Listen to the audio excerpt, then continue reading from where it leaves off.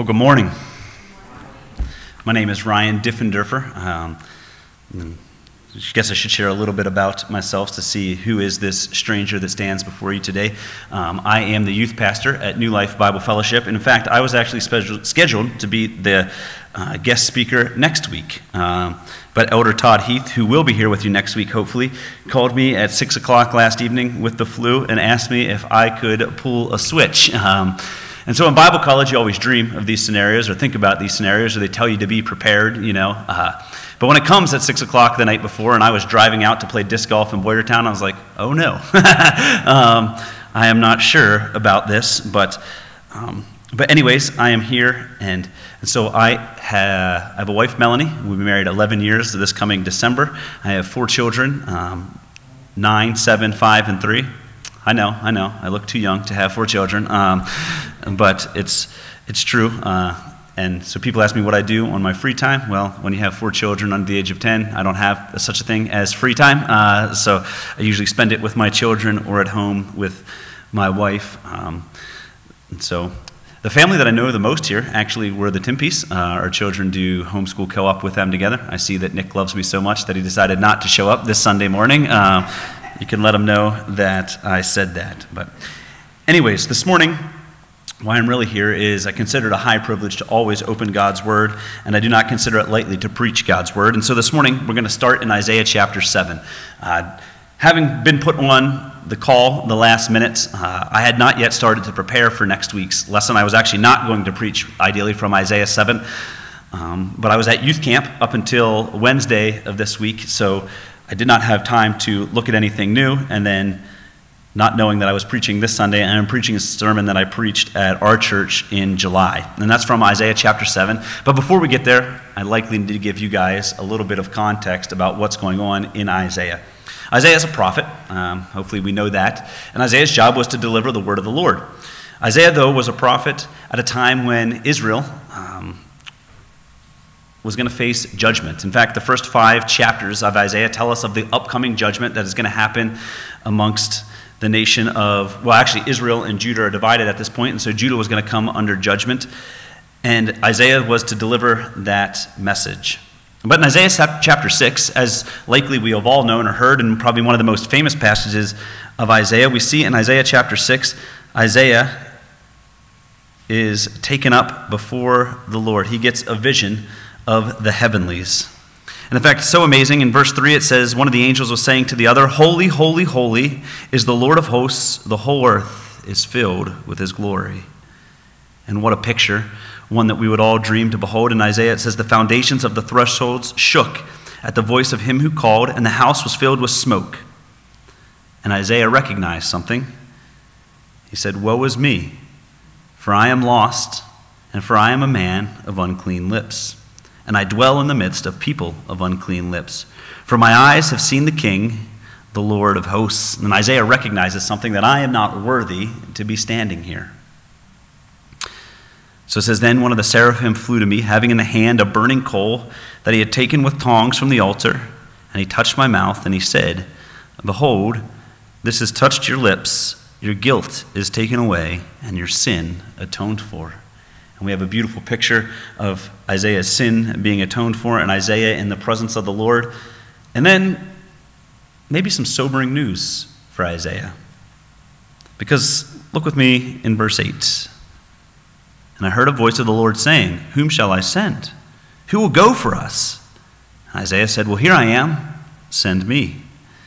And he said, Go and say to my people, Keep on hearing, but do not understand.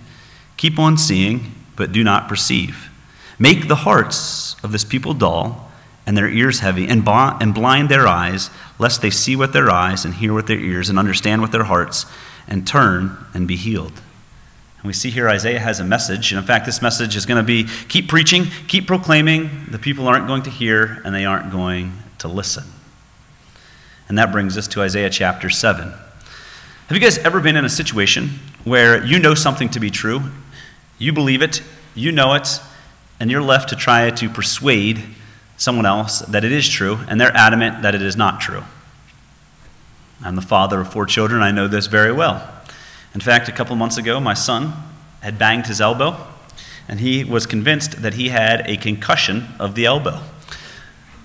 He adamantly, through arguments with his mother, um, was trying to persuade her and convince her that the concussion of an elbow, despite showing him what a concussion was, despite teaching him what a concussion was, he was adamant that his elbow had experienced a concussion. He refused to believe that that was not such a thing.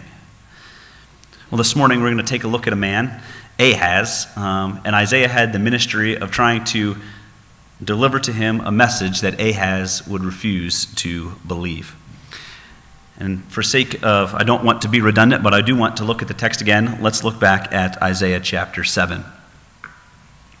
It says, In the days of Ahaz, the son of Jotham, the son of Uzziah, the king of Judah, Rezin the king of Syria, and Pekah the son of Remaliah, the king of Israel, came up to Jerusalem to wage war against it, but could not yet mount an attack against it. And let's see if I can use this rightly. Oh, no.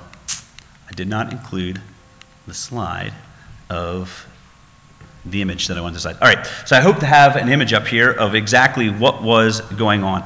But so Israel and Judah had divided, right? The 10 tribes had gone, the two tribes of Judah were left, and Israel and Syria were launching an attack against Judah. They were coming for their land. They were coming to hopefully take over the land of Judah. So we look at verse 2. It says, When the house of David was told, Syria is in league with Ephraim, right? They had tag teamed against Judah. The heart of Ahaz and the heart of his people shook as the trees of the forest shake before the wind.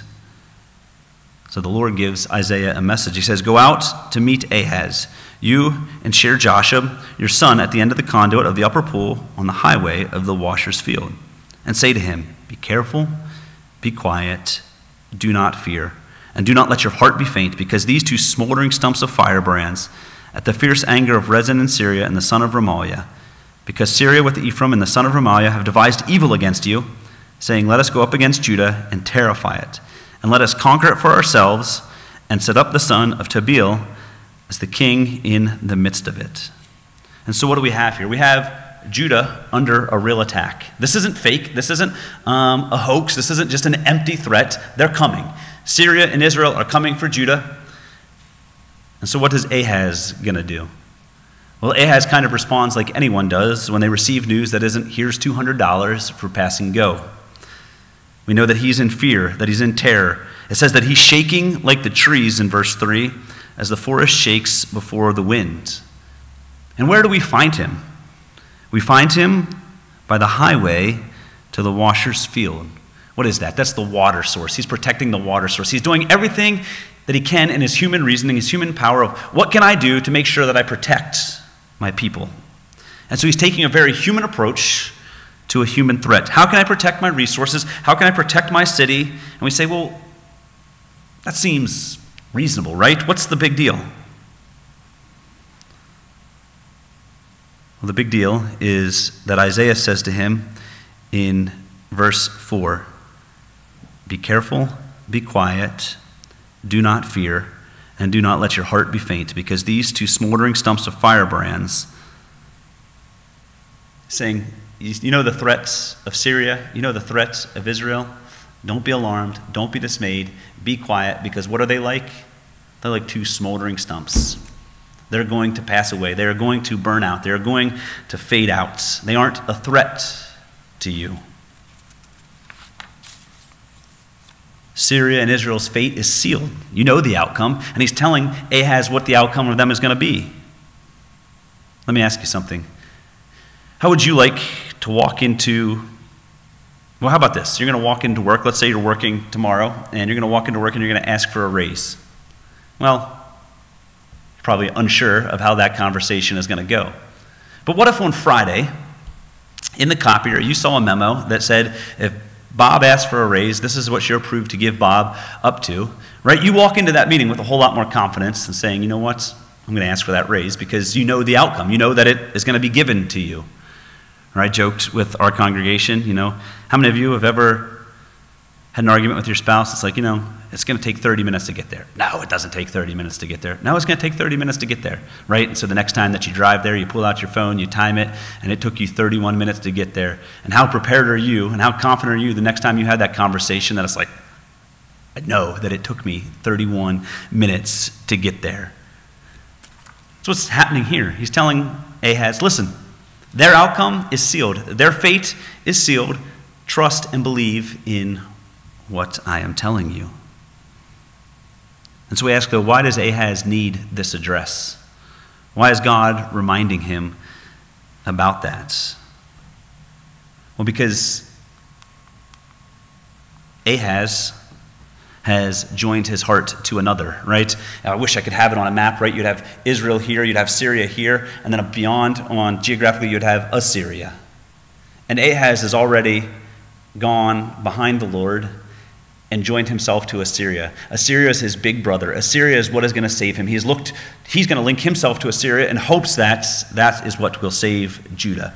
And so we have here um, it says, "And King Ahaz cut off the frames of the stands and removed the basin from them, and he took down the seat from the bronze oxen that were under it and put it on the stone pedestal."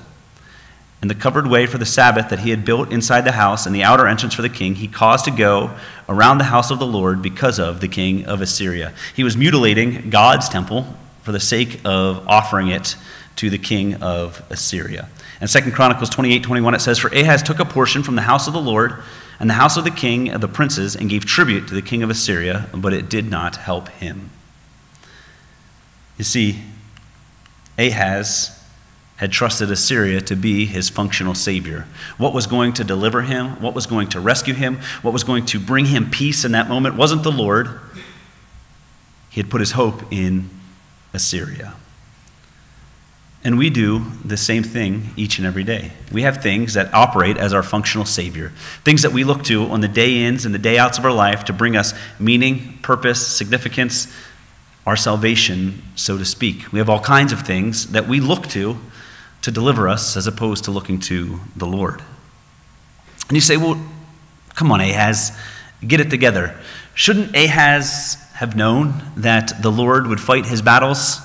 In fact, doesn't it say in Joshua 10 and 8, right? Ahaz would know this. It says, And the Lord said to Joshua, Do not fear him, for I have given them into your hands. Not a man of them shall stand before you. So Joshua came up to them suddenly, having marched up all night from Gilgal. And the Lord threw them into a panic before Israel, who struck them with a great blow at Gibeon and chased them by the way of ascent of Beth Horon and struck them as far as Azekah and Makkedah. Like, doesn't the Lord, doesn't Ahaz know that the Lord fights for his people? Doesn't he know that the Lord can deliver and bring victory over other nations? Doesn't he remember in 1 Samuel where it says, And the people of Israel said to Samuel, Do not cease to cry out to the Lord our God, that he may save us from the hand of the Philistines. So Samuel takes a nursing lamb and he offers it as a whole burnt offering to the Lord. And Samuel cried out to the Lord for Israel, and the Lord answered him. And as Samuel was offering up the burnt offering, the Philistines drew near to attack Israel. But the Lord thundered with a mighty sound that day against the Philistines, and he threw them into confusion, and they were defeated before Israel. Doesn't Ahaz know that God fights? Shouldn't he have known that David, a little shepherd's boy with a slingshot and millstones or river stones, can walk out into a battle and defeat the giant Goliath? Why? Because the Lord fights for his people. Doesn't he know that these nations can only do what God permits, what God allows and ordains? And he has said that they have reached a limit. In fact, look at with me at verse 7. It shall not stand, and it shall not come to pass. For the head of Syria is Damascus, and the head of Damascus is Rezin. What's he saying here? What's the point of this? He's saying that if you boil this down, what's behind Syria? It's just a weak little man named Rezin. And within 65 years, Ephraim will be shattered from being a people. And the head of Ephraim is Samaria, and the head of Samaria is the son of Remaliah. What is this? Behind Israel, Ephraim, it's just a little man. Then he says, If you are not firm in the faith, you will not be firm at all. And so Alec Motyer calls this Ahaz's trust or bust moment. I titled my message to believe or not to believe, and Ahaz is brought to the point of this. You're either going to believe in the promises of God and the things that God has spoken, or you will not be firm at all, which means you will be removed. You're either going to trust in what God has spoken and what God has done, or you will bust. And if that were me, and it were sorry, if I am the Lord in that situation, that would be enough, right? I have spoken. I have told you what is going to happen. I've told you the outcome. And so now it's up to you to trust. But the Lord is not only going to speak it, let's look at verse 10. Again, the Lord spoke to Ahaz. Right? What does he want for Ahaz? He wants Ahaz to trust. He wants Ahaz not to look to Assyria. He wants Ahaz to believe in him and to trust that he can deliver him from the hands of these two nations. And so he says to Ahaz in verse 11 Ask a sign of the Lord your God. What kind of sign can I ask for? He says, Well, let it be as deep as Sheol or as high as heaven. Think about that. God comes and he doesn't make a request here. He doesn't say, Ahaz, if you want to take advantage, you can ask for a sign and I will show it to you. It's a command. Think about previously when Moses was approached by the Lord and said, Go to Pharaoh. What does Moses do? Moses himself asks for a sign, and God gives the sign. When he comes to Gideon and wants Gideon to fight the Midianites, what does Gideon say? Lord, I need a sign. In fact, he asks for a couple signs, and what does God do? God grants the request. Here, Ahaz doesn't even have to ask for it. God commands him and tells him, Ask me for a sign because I'm willing to show you that I will fight for you and I will defend you. And so you can ask anything. And in fact, from Sheol to as high as heaven, basically, there is nothing off the table that you can't ask that I won't do to demonstrate that I am willing to save.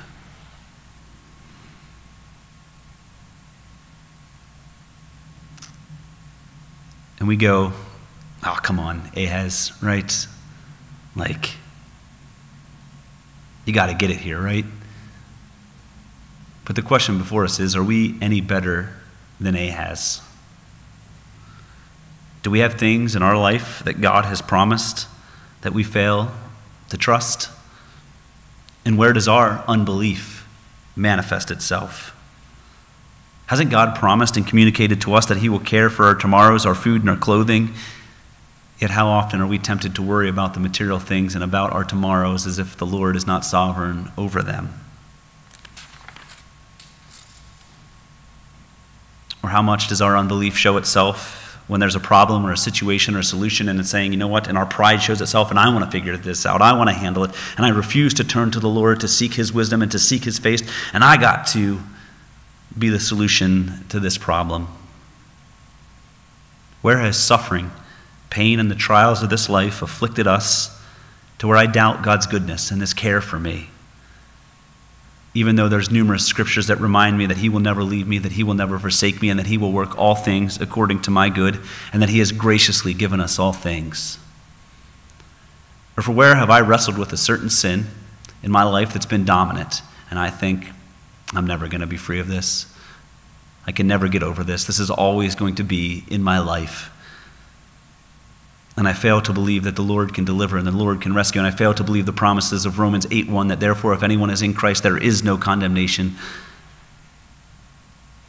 Where in my marriage, my parenting, my work, have I wrestled for control or have been riddled with fear, forgetting that the Lord is sovereign over all? You see, we all have things that function as our Savior or our mechanism for bringing peace, stability, and comfort into our lives? Will we believe? Will we trust? And so we see here that Ahaz is faced with the question ask for a sign. It's a command, and I am willing to do it. And I think initially we go, please, Lord, pick me, right? I'll, I'll be Ahaz.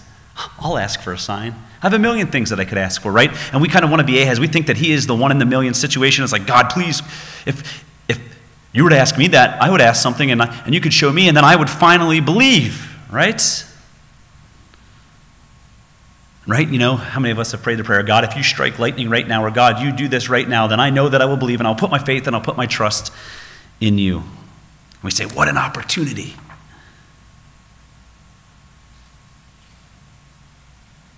But the reality is, we don't want to be Ahaz. Ahaz is so dead to the Lord, so far from understanding that what God is doing that he ignores the command. Let's look at verse 12. But Ahaz says, I will not ask, and I will not put the Lord to the test. You see, we often think that our unbelief or our lack of faith is tied to if I just were to see another sign, if I just were to witness a miracle, if I just were to get to behold Jesus physically with my own eyes, then I would believe. But let me ask you this the Pharisees, did they not see enough miracles? Did not hear? They just needed to hear a little bit more convincing teaching from Jesus. They just needed to behold him a little bit more. Jesus just needed to affirm it in another way. Was their unbelief tied to what they saw or what they heard? No, unbelief isn't tied to those things. Unbelief is tied to the hardness of our hearts and the idols of our hearts and the things that our hearts cling to. And so they didn't need just a little bit more exposure. And so what does Ahaz do? He covers it up with a nice little pious answer. Oh, I will not ask. I know that I can't put the Lord to the test. Listen, you're never testing the Lord when He gives you a command to do something and you fail to obey it. That's not a test, right? The test is are you going to obey the command? And so, what does Ahaz do? He starts to twist the scripture for his own advantage. Well, who does that? Well, that's the work of Satan. But uh, once again, I want to remind us that there's a little bit of Ahaz in us all, right? Have we ever said something to the effects of these two things? You know, I can't serve in ministry blank because I've done that for X amount of years and now I want to do this ministry. Meanwhile, I'm signed up for zero ministries and doing nothing, and I just have to have a nice little excuse so that way I can get out of serving where I don't want to serve and be uncomfortable. Or how about this? I can't share my faith at work or with my neighbors because, you know, I need this job to provide for my family, and God wants me to provide for my family, and He would not want me to lose this job, and so therefore um, I can't take that kind of risk in publicly sharing and declaring my faith. And so I got to have a nice little pious answer to cover up the big fact that I'm just a spiritual chicken. And I like my comfort and my ease and my schedule, and the real reason I won't share my faith is not because I'm worried about losing anything, it's because I'm worried about protecting myself. You see, Ahaz had already given his heart to another. He had already placed his faith in Assyria. And so he needed some type of reason to out, instead of outright saying, you know what, God, I don't believe you. I don't trust you. I trust Assyria more than I trust you. He had to say, you know what? I'm not going to ask. I don't want to put the Lord to the test. In verse 13, how does the Lord respond? He says, Hear, O then, Israel, O David, is it too little for you to weary men, that you weary my God also? In response to that, in verse 14, he says this Therefore, the Lord himself will give you a sign. Behold, the virgin shall conceive and bear a son, and his name shall be called Emmanuel. And hopefully, for some of us, that sparks your ears to say, I think I've heard that before, right? You know, somewhere around Christmas time, we read this verse. I've heard that before. But I'm going to read the next couple verses, and I want you, because I think there's two meanings to this sign.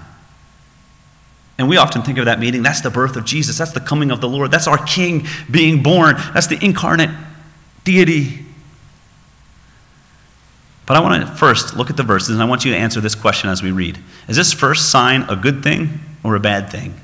Is this a sign of promise, hope, and blessing to the Israelites, or is it a sign of the opposite? I want you to answer silently as I read the following verses.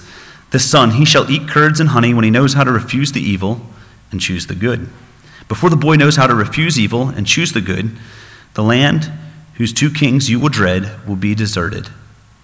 The Lord will bring upon you and upon your people and upon your father's house such days as have not come since the day that Ephraim departed from Judah, the king of Assyria. And that day the Lord will whistle for the fly that is at the end of the streams of Egypt, and for the bee that is in the land of Assyria. And they will all come and settle in the steep, settle in the steep ravines and in the clefts of the rock, and on all the thorn bushes, and on all the pastures. And that day the Lord will shave with a razor that is hired beyond the river, with the king of Assyria, the head and the hair of the feet, and it will sweep away with the beard also. Let's jump down to verse 23. In that day, every place where there used to be a thousand vines worth a thousand shekels of silver, they will become briars and thorns. With bow and arrows, a man will come there, for all the land will be briars and thorns, and all the hills that used to be hoed with a hoe, you will not come there for fear of the briars and the thorns, but they will become a place where the cattle are let loose and where the sheep tread. What is that? That's a sign of the judgment that is coming. Assyria is coming. In fact, it says in verse 20, How bad is it going to be? In that day the Lord will shave with a razor that is hired beyond the river, the head and the hair of the feet. Think about that. Assyria is going to take captive of you so much so that they're able to just shave you bald, and you have no power to stop them. Ultimate humiliation. And we see here this first mark of the sign is a sign of judgment. That because Ahaz refuses to believe, the Lord's saying, you know what? You won't believe, you won't ask for a sign, but I'm going to give you a sign that'll testify. And it's first a sign of judgment. This is what is going to come. And it's a reminder to us that unbelief does not go unpunished. I don't just get to say, you know what, God, I don't believe in the signs, I don't believe in the things that you've given, I haven't trusted in you, and I don't get to just reap the rewards as if I had believed. In fact, you know, we don't operate like this. We don't say, you know, you don't have to believe in any of society's laws or morals. You don't have to believe in things such as work and all of that, and you get to reap the rewards of those things. I mean, unless you're Joe Biden, right? But um, you know, but we don't say that. We don't say to our children, you don't have to follow any of the rules at home. You don't have to believe in any of the family values that we have. You don't have to believe in any of those things, and they still reap the rewards of those things. Our God is just. Our God does what is right. No one has to teach him what is right. And so, in his justice and his righteousness, he punishes sin and he punishes unbelief. But there's a second thing that I think that we can learn from this judgment. What was the thing that Ahaz believed was going to save him? It was Assyria. And what is the very thing of how God brings judgment Assyria. And so, brothers and sisters, I think there's a lesson here is this that if the thing that I am not trusting in, if the thing I'm trusting in is not the Lord Jesus Christ, that thing can also be my destruction and my ruin. What do I mean by that? Let me give a few examples. You say, if I live for the approval of others, I live by the opinions and the words and the thoughts of others, and I want that to be my joy and my trust and how others view me and what others say about me and what others affirm about me. My professor put it this way is that if you live by what people say about you, you'll also die by what people say about you. You see, if the goal of your life is to provide the perfect life for your children, for your grandchildren, you give them everything, and all your hope in life is that they would just be successful, and that would be the culmination of a successful life for you. What happens when one of those children does not walk in the way that you had planned for them? Or what happens when they veer off course? Does your joy, your peace, and your purpose in life remain steadfast? Or do I come to a crumbling mess? Listen, you can fill in that blank with anything marriage, success, financial security, you see, if any of those things that we turn to be our functional Savior, to deliver us, to save us, to give us purpose, meaning, and hope, and I trust in that, that that is going to give me what I need, and it is not the Lord Jesus Christ, then it often can be the thing that destroys me, that crushes my hope and my joy. My treasure is to be in the Lord Jesus Christ. And so, first, we see that it's a sign of judgment to the nation of Israel at that time. But we also know what? But we also know that this is a sign of hope. Think about that for a second. Here's Israel refusing to believe.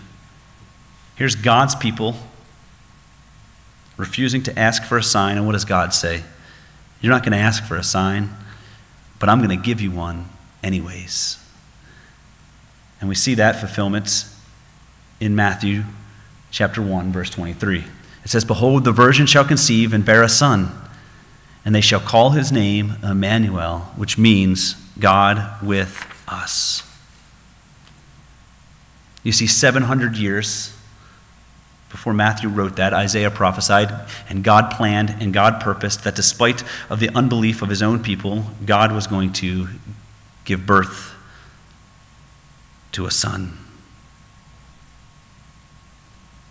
And Matthew tells us that it's a sign for us. What was the sign to Ahaz? The sign was to trust and believe that God could deliver and that God could rescue. And Jesus is a sign for us too, that he is the one that saves. And so we ask, what comfort does this bring us? Well, if the goal of the garden was that we would walk and commune and have fellowship with the Lord, and that we would live in the presence of the Lord, that Adam and Eve shared unhindered fellowship with him. And that what God required of man was that man walk in righteousness and man walk in holiness, and God and we would walk as God intended. And that's what was required of us, but we failed to meet that requirement whenever we sinned and rebelled and rejected God's law and command, and we were kicked out of fellowship. And now I can't do what God requires. I can't be who God requires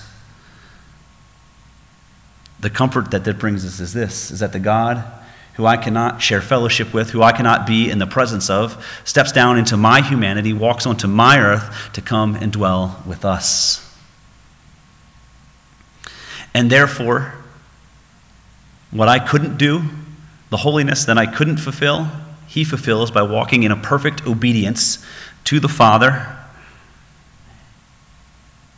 And God provides in the person of Jesus Christ the requirements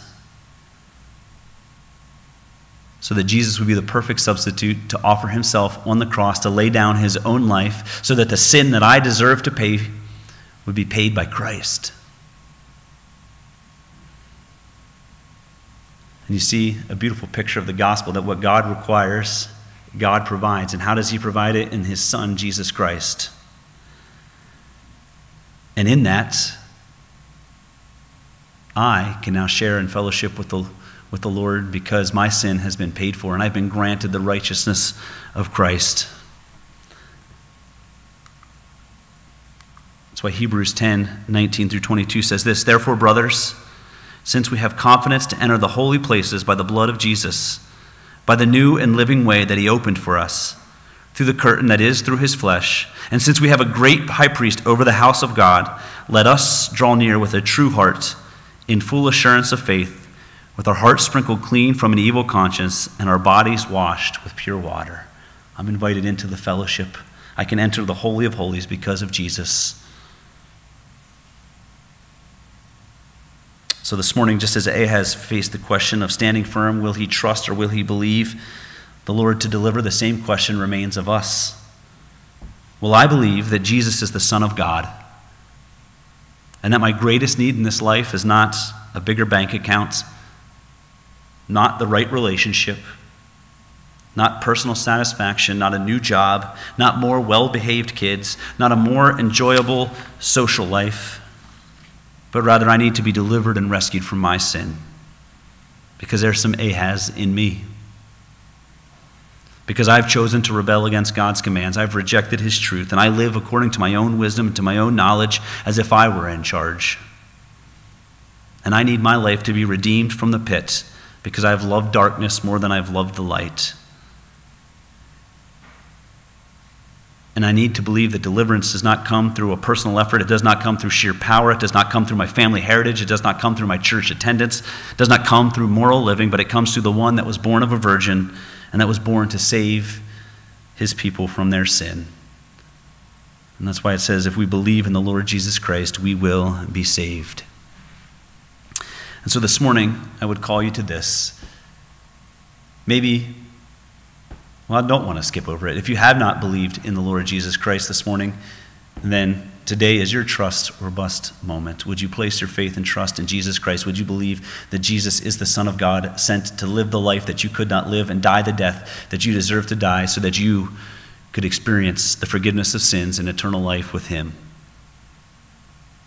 But for those of us that have confessed that and have walked with the Lord, Would we check our hearts to where unbelief has crept in, to where doubt has crept in, to where we've looked to functional saviors to give us what only Christ could give us?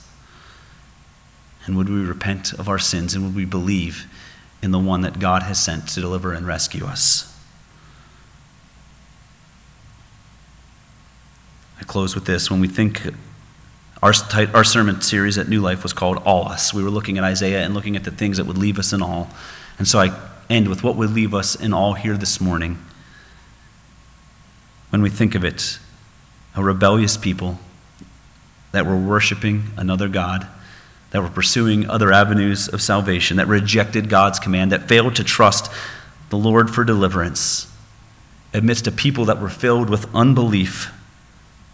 Romans 5 8 says this while yet we were still sinners, while we were yet walking in the opposite direction, Christ died for us, that he promised a sign to us to deliver us so that we might share in fellowship with him.